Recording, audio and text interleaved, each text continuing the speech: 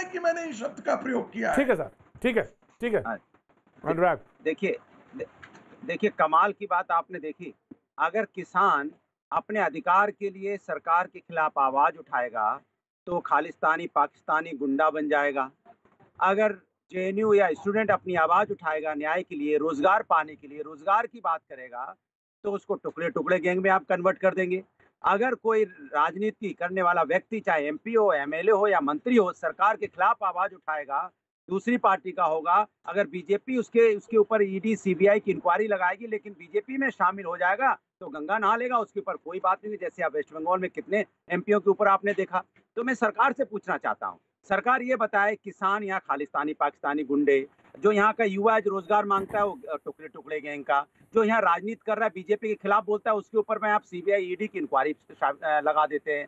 तो यहाँ पे जो वैक्सीन के खिलाफ। अगर कोई बात करता है कि आप साइकिल से जा रहे हो वैक्सीन सुरक्षित नहीं जा रही है तो आप उसके खिलाफ बोलना शुरू करो मैं कहता हूँ आप चाहते क्या हो देश के अंदर में? आप चाहते हो देश का कोई वर्ग बोले नहीं महिला पे अत्याचार होता है होता रहे हाथरस घटना होगी हो जाए चुप बैठा रहे सब लोग। यहाँ पे बदायूं की घटना हो जाए महिला के साथ सब चुप बैठ जाए यहाँ रोज़गार ना मिले लोग चुप बैठ जाए किसान आंदोलन ना करे वो भी चुप बैठ जाए अत्याचार सहता रहे।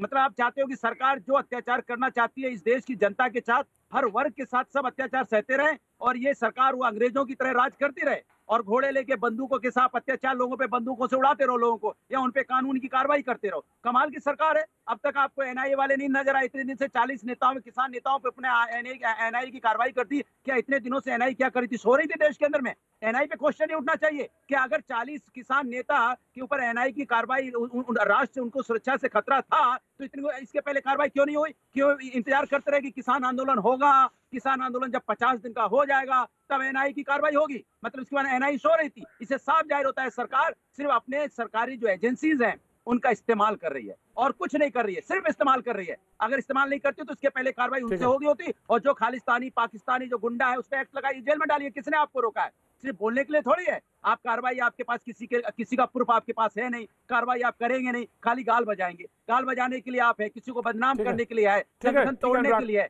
ये भारतीय जनता पार्टी समाज के अंदर में डिवाइड एंड रूल करना चाहती है। अंग्रेज़ों का दूसरा रूप है। अंग्रेज़ी जैसा हुकूमत यहाँ कराना चाहती है। ये तानाशाही सरकार बन चुकी है। लोकतंत्र पे इसको कोई विश्वास नहीं है। ये लोकतंत्र के लिए खतरा है। डेमोक्रेसी के लिए। खतरा है तो भारतीय जनता पार्टी बन चुकी है। ठीक है ठीक है अनुराग अनुराग। भाषण जी भाषण का समय नहीं तर्कों पे बात होगी। जी बिल्कुल जी। तर्कों पे बात कर रहा हूँ। हाँ, एनआई हाँ, ठीक है, एनआई की है। कार्रवाई नहीं हो रही है। एनआई की कार्रवाई नहीं हो रही है बताइए ना। इसके पहले एनआई क्या कर रही थी मैं पूछता हूँ आपसे। गुरु इसके पहले एनआई क्यों नहीं थी? गुरु प्रकाश जी गुरु प्रकाश जी। मैं हाँ, आप ही के पास आ रहा हूँ। अनुराग जी आप बात सुन लीजिए। देखिए आप हाँ हाँ। आप आप आप समाजवादी हैं समाजवाद का एक ये अर्थ होता है कि सबको समान अवसर मिलना चाहिए। अपना भाषण आपका पूरा हो गया तो अब मेरी बात सुन लीजिएगा आप ध्यानपूर्वक। भाषण नहीं, निरंतर नौ दौर की बातचीत हो चुकी है। नहीं नहीं अरे मैं आँखें खोल रहा हूँ आपकी आँखें तो खुली हुई है। ना मैं छोड़िए आपको बताना चाहता हूँ। नहीं, अरे आप आप अब आप फिर से आप आप ऐसे बार बार बार बार हाँ, दखल देंगे हस्तक्षेप करेंगे तो ये उचित तरीका नहीं है। ये उचित तरीका नहीं है। नहीं मैं आपको बता रहा हूँ मैं आपको बता रहा है। ये उचित तरीका नहीं मैं डिबेट कर रहा हूँ आपसे। नहीं है। देखिए ऐसा है कि अब या तो आप ऐसे सवाल का जवाब तो सुनो, अनुराग।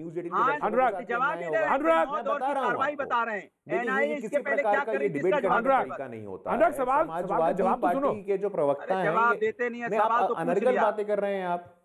अरे आप कह रहे हैं आप आप मैं पूछ रहा हूँ आपसे ना ऐसा है कि आप आपकी पार्टी में आपकी पार्टी नहीं, नहीं मुकुल राय के ऊपर कार्रवाई क्यों नहीं हुई? आपने तो मुकुल राय को वहाँ पे नोटिस भेजा था सीबीआई की इंक्वायरी हो रही थी आप इनको क्या पाक साफ़ हो गए जब से टीएमसी में जब से बीजेपी में आ गए। Anurag Anurag Anurag Bhadauria Anurag Bhadauria now please listen now now please listen नहीं नहीं डॉक्टर अनुराग भदौरिया। मेरा नाम तो पूरा होना होना चाहिए ना।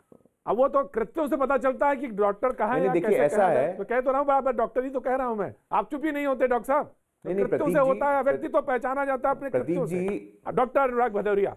जी। अरे नाम तो अनुराग भदौरिया ही है ना। इन्होंने डॉक्टर इतने- तो टाइट डॉक्टर तो डॉक्टर तो एक डिग्री हुई है ना भाई। अरे भारतीय जनता पार्टी का मामला है? यहाँ पे बड़ा please silent please silent please, please, please, audio down, audio down, audio down. अच्छा audio down audio down audio down बड़ी मेहनत के बाद आती है डॉक्टर की डिग्री। जी जी पासवान साहब। जी डॉक्टर जी। जी देखिए देखिए कि, कितना बड़ा दुर्भाग्य है कितना बड़ा दुर्भाग्य है ये धारा प्रवाह बोलते हैं और किसी और को बोलने का अवसर नहीं देते हैं। समाजवाद का ये भी अर्थ हो कि सबको समान अवसर मिलना चाहिए।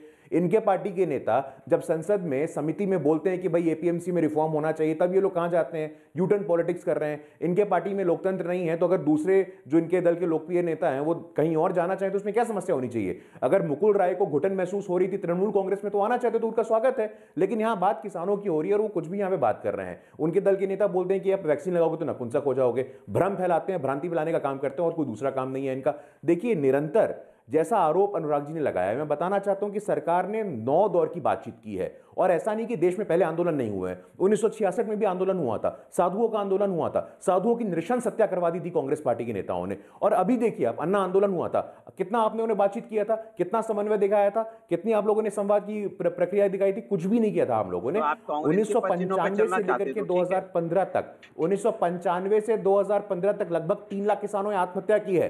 उन्नीस से 2015 तक लगभग तीन लाख किसानों ने आत्महत्या की है। उसका जिम्मेवार कौन है? जब चिंता होती है उन किसानों की, जो 86 प्रतिशत किसान है, जो कम भूमि वाले किसान है, जो भूमिहीन किसान है, जो वंचित किसान है, जो दलित किसान है, जो बंधुआ मजदूर के तौर पे काम कर रहे हैं, पंजाब में उसकी चिंता कौन करेगा? छह प्रतिशत की चिंता तो आप करते हैं बाकी छियासी प्रतिशत जो है उनकी चिंता कौन करेगा? प्रधानमंत्री जी निरंतर कहते हैं अंत्योदय पंक्ति में खड़े अंतिम व्यक्ति का कल्याण होना चाहिए जो वंचित किसान है। आज बिल्कुल तक गुरु आज गुरु प्रकाश लोगों ने उनकी चिंता गुरु प्रकाश जी आपकी बात निरंतर। आपकी बात सही है लेकिन यह सवाल प्रश्न उतना ही बड़ा यह भी महत्वपूर्ण है कि छह